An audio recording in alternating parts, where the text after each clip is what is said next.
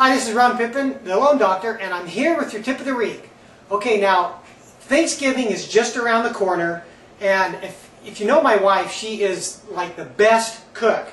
And on Thanksgiving, when, we, when I have to go around and carve that turkey, well, I'm not really very good at it. I kind of look like that psycho guy that just butchers the turkey. So this week, what I'm doing is I'm going to put a link to a expert turkey carver uh, for a video on YouTube. And he shows you exactly how to carve that turkey and so you don't mess it up. And I've, I've watched it, it's great. I mean, he shows you exactly how to carve it up. He shows you two different ways to carve the breast. So it's really cool. I'm going to put the link right down here. If you're not on my weekly tip uh, page, go to myweeklytip.com and the link will be right down there.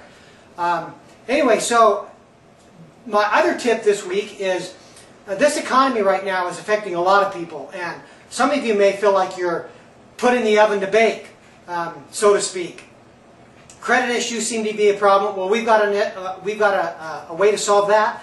And right now, as I'm recording this, interest rates have dropped. Right now is a great time to buy, a great time to refinance. So call Sandy or I.